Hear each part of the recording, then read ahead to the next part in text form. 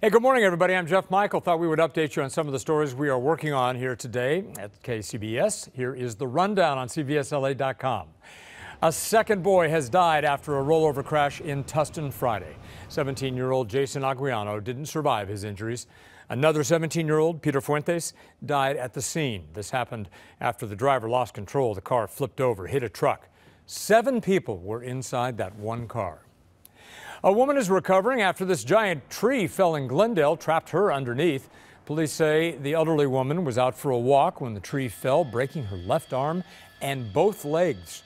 People nearby rushed over to try to lift the tree off of her, but no luck. They finally tried to use a car jack along with a pole, to actually wait until firefighters arrived.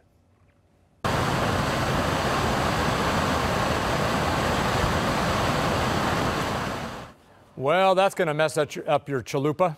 After a car crashed into this Taco Bell in Glendale, the car lost control, slammed into the restaurant just after midnight. The crash caused a major water line to break. As you can see, water was pouring out everywhere, ceilings. Somebody may be in trouble for this, the driver possibly, but nobody was hurt.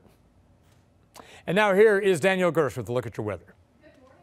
Happy Monday to you. So we have a frost advisory in effect for parts of Ventura County, and that'll be with us until 9 o'clock this morning. It's a cool start to the day, but later this afternoon we'll have some nice temperatures and then a big warm up on the way. We also have wind advisories that were extended. These now going to be in effect until lunchtime tomorrow. So we could see those north winds gusting 30 to 40 miles per hour this morning.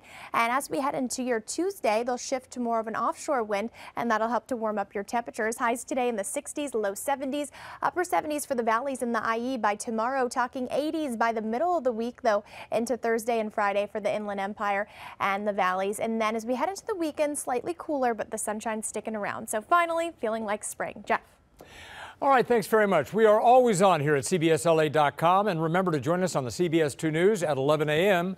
That is your rundown. I'm Jeff Michael. Have a great morning, everybody.